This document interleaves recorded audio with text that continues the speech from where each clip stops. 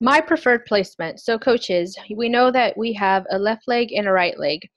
And so, let's say that you start enrolling coaches and you started enrolling them, and your legs are becoming a little lopsided. So, you've enrolled three coaches and they're all on your right. How to switch my preferred placement? We go to Coach, Coach Online Office.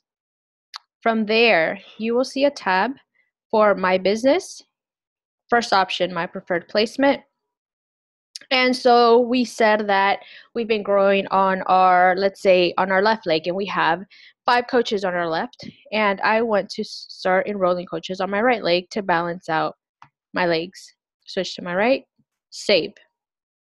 From this point forward, the next coaches that I will enroll will fall onto my right leg, therefore balancing out my legs, my left and my right.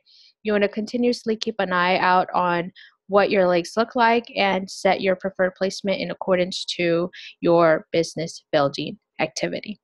All right, coaches, hopes this helps. And until next time.